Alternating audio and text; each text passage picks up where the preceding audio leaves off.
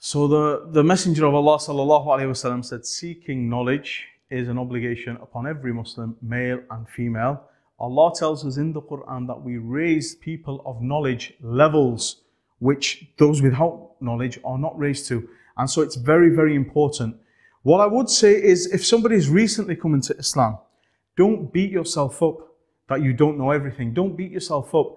Uh, understand that it's a gradual process.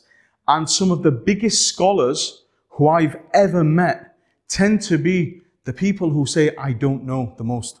Bear that in mind. In fact, it's said in our faith tradition that la adri nisf ilm Saying I don't know is half of all knowledge.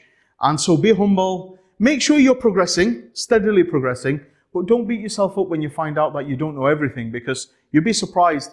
A lot of these scholars out there will be the first people to admit that what they know is very, very uh, little. So as long as you're progressing and as long as you're learning new things and you have a timetable, you have a plan, uh, may Allah give you success.